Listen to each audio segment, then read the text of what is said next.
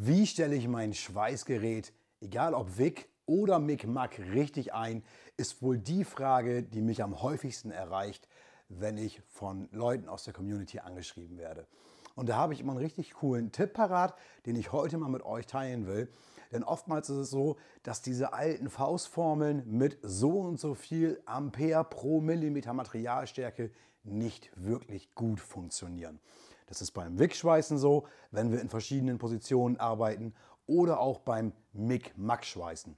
Und da habe ich ein richtig, richtig cooles Tool an der Hand, was euch die Arbeit da auf jeden Fall erleichtert. Und das will ich euch heute mal vorstellen. Das ist die Welt Connect App von Fronius. Den Link findet ihr unten in der Videobeschreibung.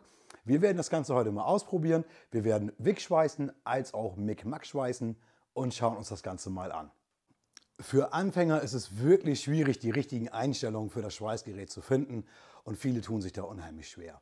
Und oftmals ist es eben so, dass diese alten Faustformeln einfach nicht funktionieren.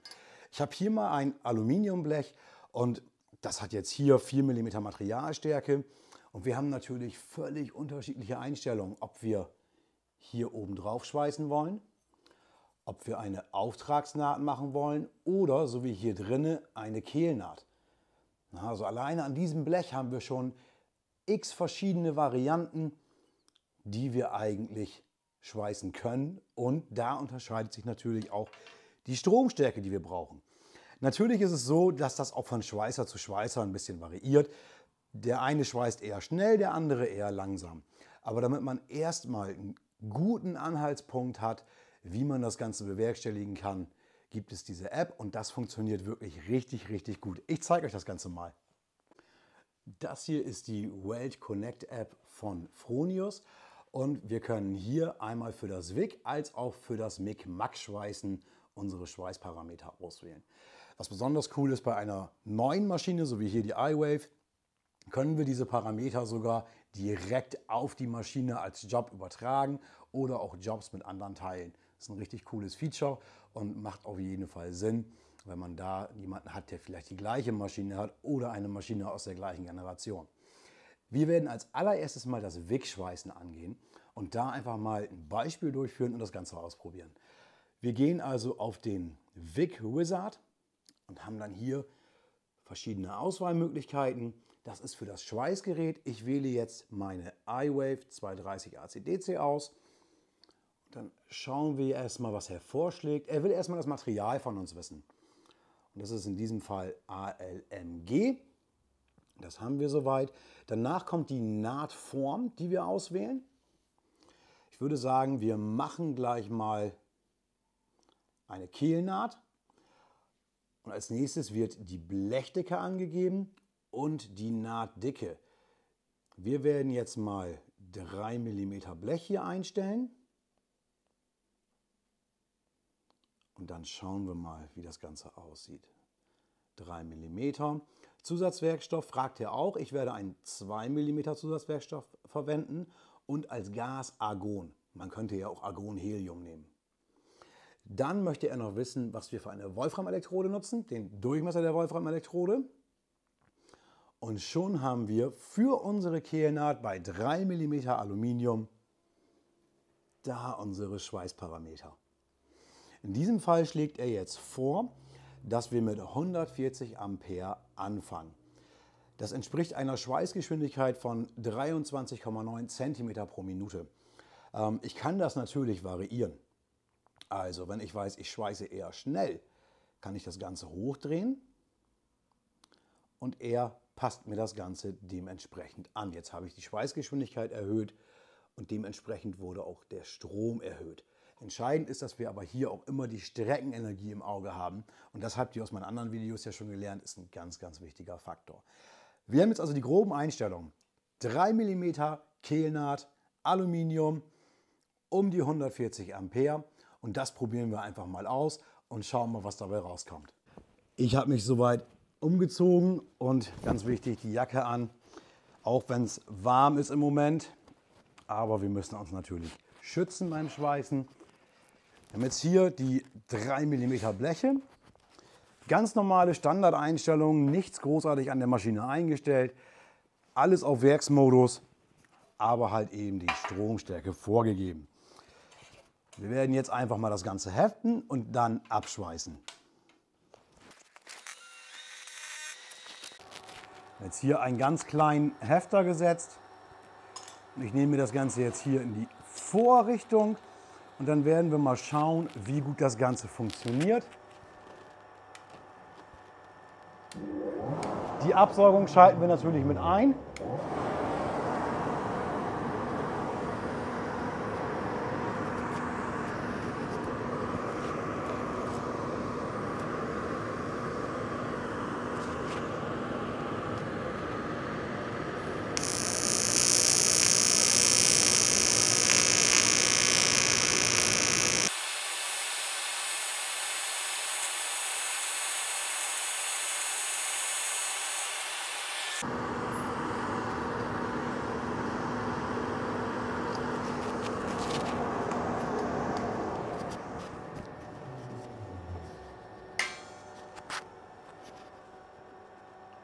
Ich glaube, das hat richtig, richtig gut funktioniert. Das war für mich persönlich ein bisschen zu kalt. Ich schweiß lieber schnell, hätte gerne noch 10, 15 Ampere mehr gehabt.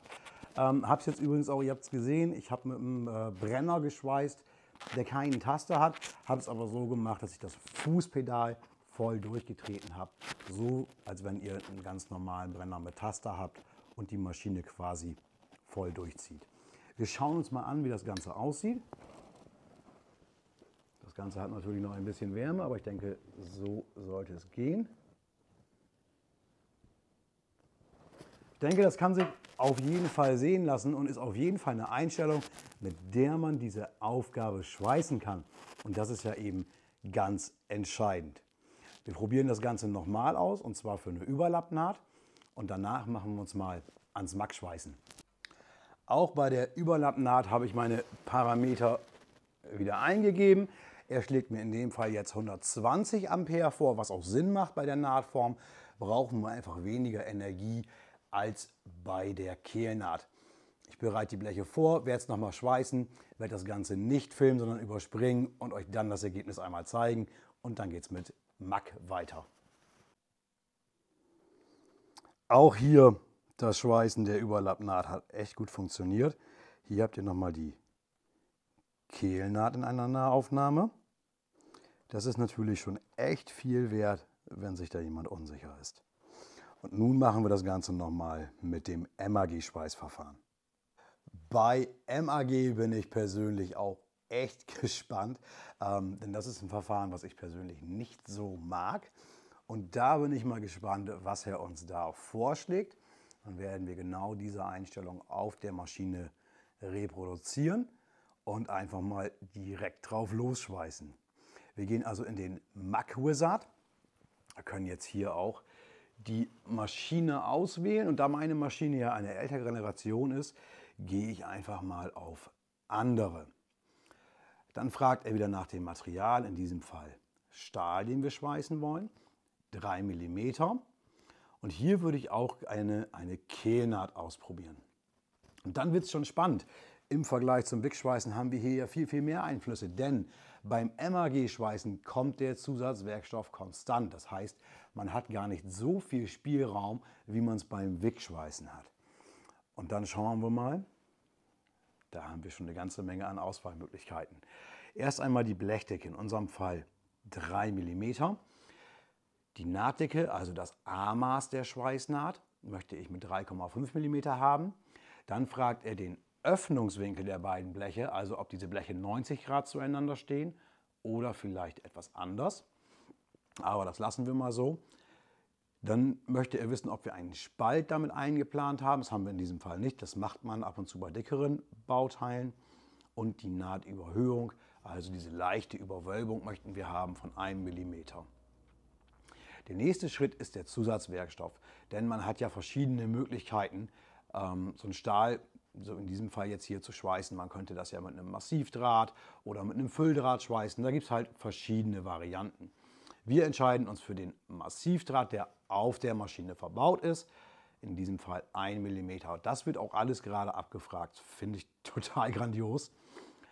Ganz entscheidend, einer der letzten Schritte ist einmal die Gasauswahl, denn es gibt ja welche, die schweißen mit 100% CO2 oder, so wie die meisten, mit einem Mischgas. Das habe ich jetzt ausgewählt. Und jetzt wird es nochmal sehr, sehr interessant bei der Frage nach den Schweißprozessen. Wir werden hier jetzt verschiedene Schweißprozesse vorgeschlagen. Und ich möchte das Ganze sehr, sehr gerne mal im Standardprozess, also Kurz-, Übergangs- oder auch Sprühlichtbogen schweißen. Wähle da universell. Und jetzt schauen wir mal, was er jetzt von uns wissen möchte. Das finde ich wirklich mega. Er fragt uns nach der Position, in der wir schweißen und das bebildert. Also in unserem Fall jetzt hier Position PB, die wir gleich schweißen werden. Und dann sagt er, hey, das ist so kleine Naht oder dünnes Material, das kannst du in einer Raupe schweißen. Bei dickeren Sachen würde er dann auch gleich vorschlagen, okay, das musst du in mehreren Lagen schweißen. Und jetzt haben wir unsere Schweißparameter. Und das ist wirklich super, super, super, super spannend, ähm, weil wir auch hier mit der Geschwindigkeit arbeiten können, die wir beim Schweißen haben. Er sagt jetzt 30 cm pro Minute. Das ist ein Wert, wo ich persönlich gut mit klarkomme, das passt. Wenn du jetzt ein sehr, sehr langsamer Max-Schweißer bist, dann gehst du vielleicht lieber auf 28 cm pro Minute. Für uns die entscheidenden Kenndaten beim MAG-Schweißen ist einmal der Drahtvorschub und die Spannung. In unserem Fall 19,2 Volt und 7 Meter die Minute Drahtvorschub. Das stellen wir jetzt mal an der alten Fronius ein, schweißen das Bauteil und gucken, was passiert. Ich bin jetzt bei der Maschine hier in dem manuellen Modus, also habe die Synergie verlassen und weiß jetzt, ich brauche 7 Meter Drahtvorschub und ich brauche eine Spannung von 19,2 Volt, wenn ich es richtig im Kopf habe. Und das sind jetzt unsere Einstellungen für das MAG-Schweißen. Jetzt bin ich wirklich super, super gespannt, was da passiert. Ich habe hier zwei alte Blechbauteile. Natürlich sollte man, wenn das etwas Richtiges zu schweißen wäre, erstmal den Zunder entfernen. Wir wollen gerade einfach nur probieren, ob die App auch bei dem Verfahren so gut funktioniert. Und das machen wir dann mal eben ohne den Zunder zu entfernen. Ich denke, für so einen Test sollte das auf jeden Fall ausreichen. Ähm, ihr seht übrigens jetzt, dass ich einen anderen Helm benutze. Das mache ich grundsätzlich so, denn so ein Mack-Helm sieht ganz schnell ziemlich böse aus. Und ich möchte mir die Helme, die ich fürs Wegschweißen brauche, wo ich eben wirklich eine klare und gute Sicht haben will, nicht versauen. Deswegen dieser hier, der nur fürs Mack-Schweißen genutzt wird. Absaugung machen wir gleich wieder mit an. Ich werde das Ganze schweißen und dann schauen wir, was passiert.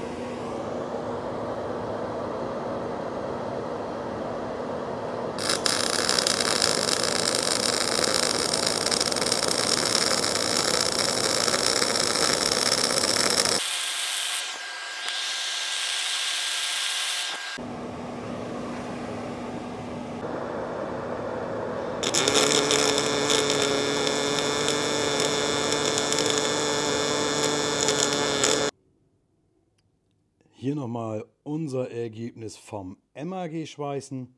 Ich habe da auch mal bewusst versucht, die Geschwindigkeiten stark zu variieren. Ähm, so wie es ein Anfänger halt auch macht. Aber ich denke, trotzdem hat man da ein echt brauchbares Ergebnis. Wie gesagt, ohne jetzt irgendwas zu optimieren, einfach nur mal gucken, wie ein Anfänger damit klarkommen würde. Total klasse. Also man ist auf jeden Fall immer im richtigen Bereich. Auch hier beim Edelstahlschweißen läuft das Ganze richtig, richtig gut. Man ist auf jeden Fall im richtigen Bereich. Das hat auf jeden Fall richtig, richtig gut funktioniert und besser als erwartet. Ähm, ich finde die App wirklich gut. Ich mag die App wirklich, wirklich gern, weil sie eben für Anfänger eine super, super Hilfestellung ist und auch für erfahrene Benutzer. Denn es gibt ja zum Beispiel Leute, die nur im Dünnblechbereich unterwegs sind und dann Probleme haben, wenn sie mal was Dickeres schweißen müssen oder umgekehrt. Also ein richtig, richtig gutes Hilfsmittel. Gefällt mir auf jeden Fall, hat meine klare Empfehlung und ihr bekommt es in der Videobeschreibung. Lasst mal was in den Kommentaren stehen, wie euch die App gefällt und was ihr davon haltet. Bis zum nächsten Mal und macht's gut.